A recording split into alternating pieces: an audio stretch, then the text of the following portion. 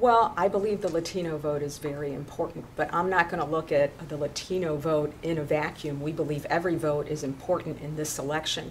Uh, last election, I believe it was Brady who lost uh, by three votes per precinct. We can't have that happen again. We need to all get out there and vote Latinos, Polish, Indians, all, all of us alike. We need to all be heard.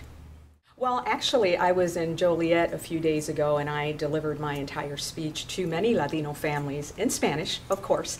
And uh, pretty much I let them know the reasons why my parents came to this country, which was for better opportunities, for jobs, uh, for a future, a quality of life. And that's probably the reasons they came to this country um, and, and for their children to provide them with, with better things. And it is Bruce Rauner and I, it is our ticket that will provide jobs, lower taxes, better schools, because you know Bruce Rauner and I are all about education reform. Every child in Illinois should receive a world-class education, no matter what their backdrop is. So it is with our party that they should come, because we are the ones that speak for term limits, better schools, uh, you know, more jobs in the state of Illinois, and so on.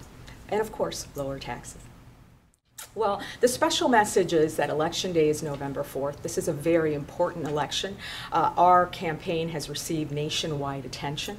Uh, our state is ailing. I don't mean to get negative, but we need to put get our state back. We need to lower these, these taxes so that businesses could come to Illinois and stay in Illinois. We need to provide jobs for everyone, a world-class education for our children. And the only way we could do this is to make a change by going out and voting on November 4th. So thank you very much for this opportunity.